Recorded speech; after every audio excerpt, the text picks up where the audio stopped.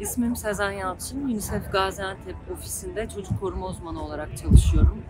Ee, UNICEF olarak depremin ilk gününden e, bu yana çocukların temel ihtiyaçlarının karşılanması konusunda sahada partner kuruluşlarımızla birlikte çalışmaya devam ediyoruz. Çocukların temel ihtiyaçları, hijyen ihtiyaçları, e, ısınma ihtiyaçları, koruma ve eğitim ihtiyaçları konusunda alandayız. Sivil toplum kuruluşu partnerlerimiz, belediye ortaklarımız, Aile ve Sosyal Hizmetler Bakanlığı il müdürlükleriyle koordineli bir şekilde çalışmalarımızı yürütüyoruz. Şu anda afetin ilk dönemlerindeyiz. İhtiyaçlar çok acil, çok fazla. Ee, ama afetin sonuçları çok uzun soluklu olacak. Afetin olumsuz etkilerinin e, uzun soluklu olacağını biliyoruz. Dolayısıyla destek çalışmalarının, yardım çalışmalarının bu ilk zamanlardaki yoğunluğuyla e, orta ve uzun vadede de devam etmesine ihtiyaç duyuyoruz.